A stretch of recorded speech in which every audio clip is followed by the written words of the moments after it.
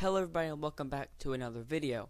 I'm finally back on YouTube after taking a short break and then my short break turned into a long break so I kinda was gone for a little longer than I wanted to be but I'm back. So if you would like to, before we get started with the video, please follow me on Twitter. I am always active on Twitter even when I'm not on YouTube and it is greatly appreciated. You can ask me anything and I will always respond. But now let's get to the video. by the rebels. We must be activated in order to I stop can't the believe I'm Y-wing getting attack. paid for this.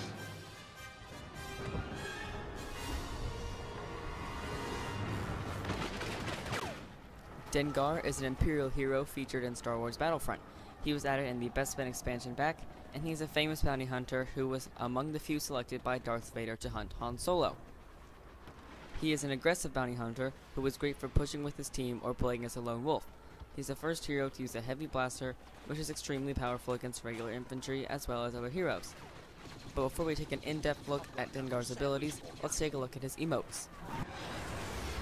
You're gonna take a dirt nap. Ooh, I'm so scared.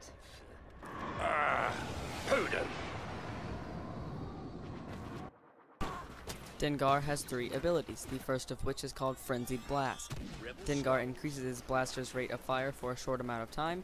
This ability is very powerful if used at the right time, but it has drawbacks. The ability creates difficult amounts of recoil and is not particularly accurate. But it does not overheat the blaster, so that is a plus. Dengar cannot sprint or jump while this is activated, but he can use his other two abilities to deactivate this one. Dengar's second ability is called Hurricane Strike. Dengar rushes toward his opponent with blinding speed and hits that opponent with the blunt end of his blaster. This could originally kill Luke Skywalker with just one hit before a patch came out and prevented this from happening. Dengar's third and final ability is called Explosive Rush, and when this ability is activated, Dengar will rush forward and throw three explosives to his front, right, and left. If any enemy is present in those areas, the explosive will stick to one of them, and all explosives thrown will explode after a few seconds and kill all enemies around. This is very useful for rushing into an area, doing a lot of damage, and using the explosive rush, rush to get out of the area and kill enemies on your way out. Dengar's passive trait is called Tough Fighter. This trait increases his armor as he deals more damage to heroes and kills enemies. This armor reduces the incoming damage from adversaries, so the more damage Dengar does, the less damage he takes, so it's good to stay in the fight with him and keep dealing damage, so in turn enemy damage does less to you. Dengar is a tank for the Empire, meaning that he can dish out a lot of damage while also taking a lot of damage before dying.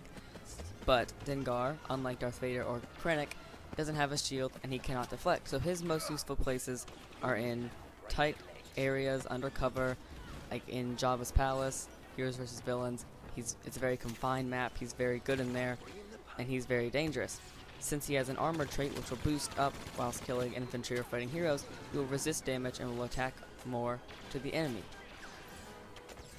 One of my favorite strategies to use as Dengar is to rush into an area using Hurricane Strike, dealing a lot of damage to enemies in front of you, activating your Frenzied Blast to deal even more damage to infantry or heroes, and when your Frenzied Blast runs out, you use your Explosive Rush, find a way out, use the Explosive Rush, you run forward, throw explosives to the side, so enemies following you will die or take a lot of damage, and if they're running after you, they won't want to run into explosives, so you kind of make a quick getaway. If this video helped you use Dengar, please leave a like, comment, and subscribe, as well as follow me on Twitter like I mentioned before. I will be doing one of these for every other hero in the game, with only Chewbacca, Bossk, Jyn Erso, and Director Krennic left. And I'm very excited for Battlefront 2, so when the beta rolls around, I will hopefully have the beta and be able to record it for everyone. Thank you so much for watching again, and may the Force be with you.